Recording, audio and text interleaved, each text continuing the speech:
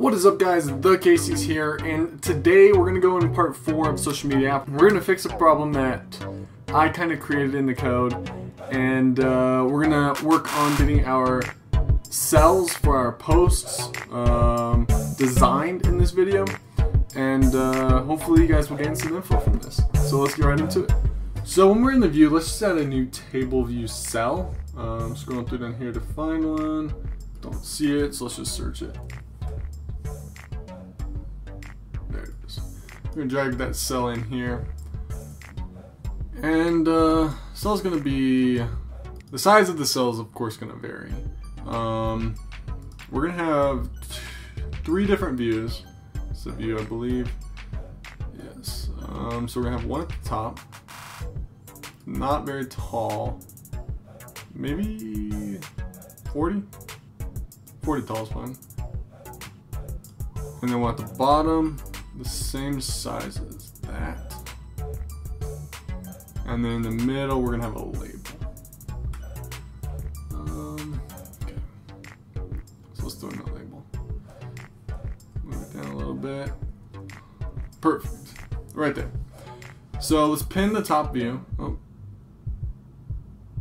Let's pin that top view.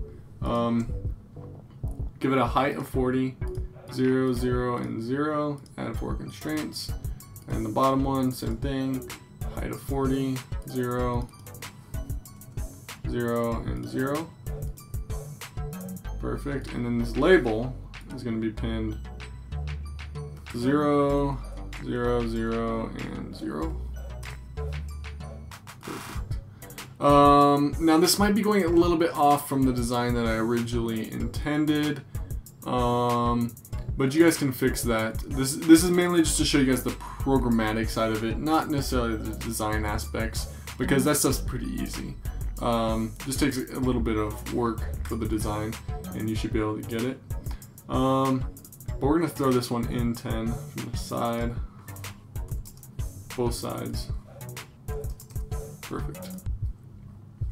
Um, we can just copy this little image, paste that in there it's going to be not 44, 30 by 30.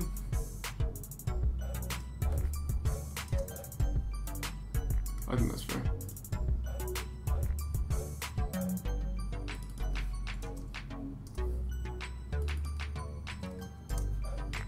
And that's going to be in this view.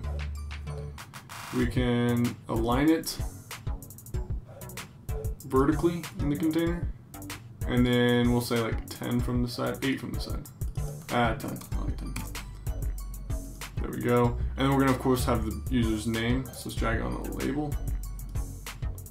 And this one is gonna be 8 from the side, 0 over here.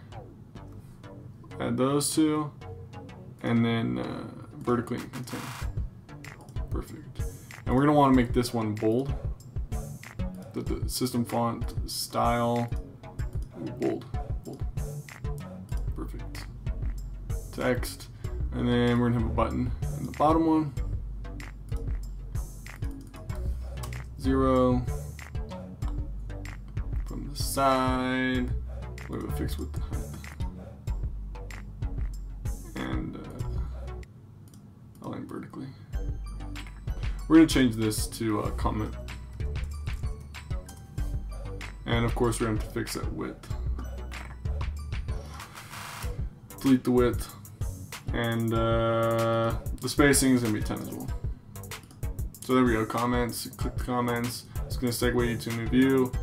Label is going to be the text uh, from the user. Which we want, of course. Lines Oh, it's gonna be zero. The lines on the label is gonna be zero.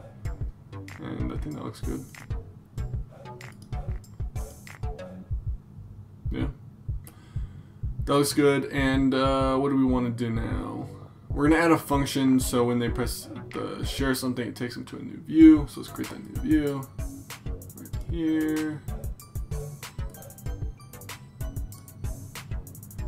And if you guys are wondering why um, this storyboard looks different, it's probably because I haven't updated my uh, Xcode.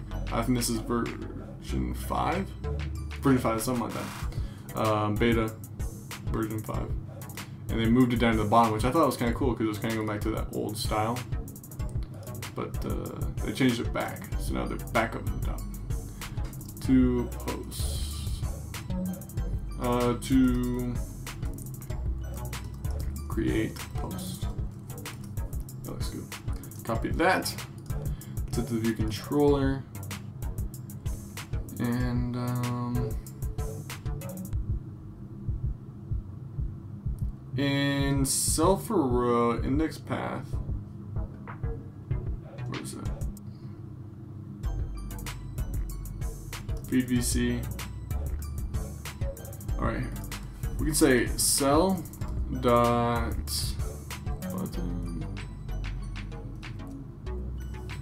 Does the cell have a button? Let's see. Oh no, it doesn't. Let's add a button in the cell. Sorry if I sound kind of like tired. I'm getting sick right now. So weak var uh, share button type UI button. Save that.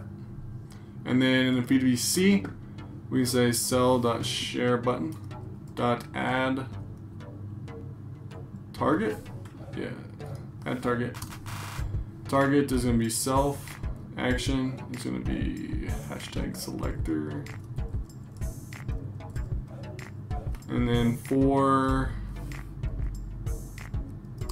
UI control events dot touch up inside. Yeah, touch up inside. You, you don't need the UI control events. You can just say dot touch inside. And we need to create a new function similar to this. I'm just gonna copy it twice. Paste that. And um, delete this. And the function is gonna be called uh, to to post. To create post, I guess is better. Copy that and just paste that in the selector. Perfect. Now in here we're gonna say perform, preform. No, it is perform. Paste that in there, and sender is going to be no. Save that. And our app should be working. Um, I apologize for the short video. Um, we still got a lot done in this video. Um, my schedule has been super busy. Uh, why I haven't been live and stuff like that. Um, but we got a lot done. I encourage you guys to go out and try and figure out how to um, create the posts. If you want, you can uh, look back at the old video, um, but try and figure it out, get a good understanding of it before you go into the next video, and uh, drop a like on this video if it helped you in any way, and subscribe to the channel if you like coding videos. I'll see you guys in the next video. Peace.